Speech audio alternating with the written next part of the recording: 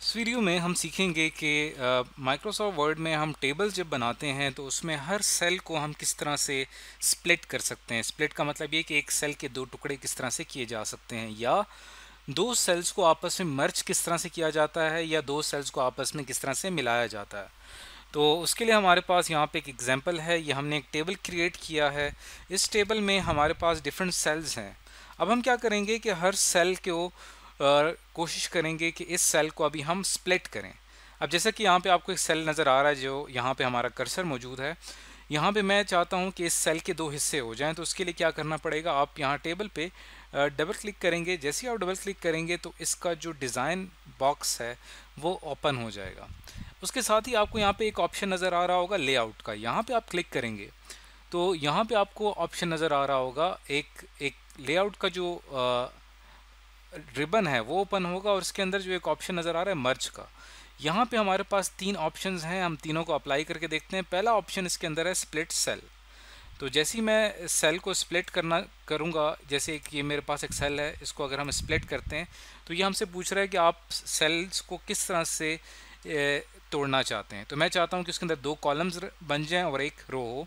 तो जैसे ही मैं करूँगा तो देखें यहाँ पर दो कॉलम्स बन गए।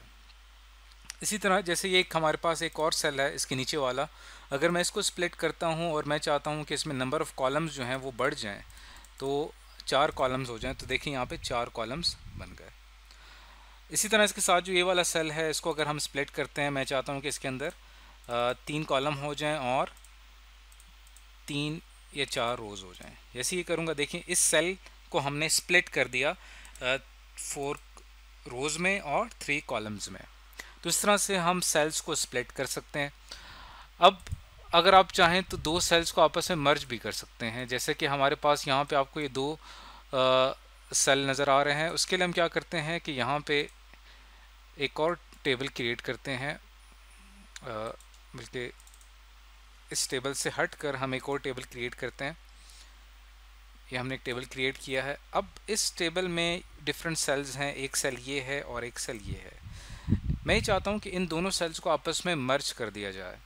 तो उसके लिए क्या करेंगे कि आप इस पर डबल क्लिक करेंगे और यहाँ पे जो लेआउट का ऑप्शन है, यहाँ पे आप क्लिक करेंगे और यहाँ पे जो, यहाँ पे मैं लेट सपोज़ क्लिक कर रहा हूँ, इन दोनों सेल्स को मैंने आपस में सेलेक्ट किया और यहाँ पे आपने क्लिक करना है मर्ज सेल पे। जैसे हम यहाँ पे क्लिक करेंगे, देखें, ये जो दो सेल्स थे, ये दोनों मिलके एक सिंगल सेल में कन्वर्ट हो गए।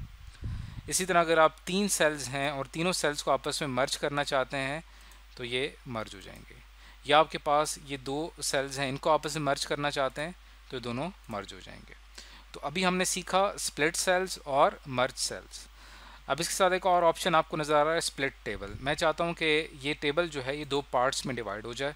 तो यहाँ पे हम इसको अगर स्प्लिट टेबल करते हैं तो देखें, एक टेबल हमारे पास ये बन चुका है और दूसरा टेबल ये बन चुका है। तो हमने क्या किया? दो टेबल्स में इसको डिवाइड कर दिया।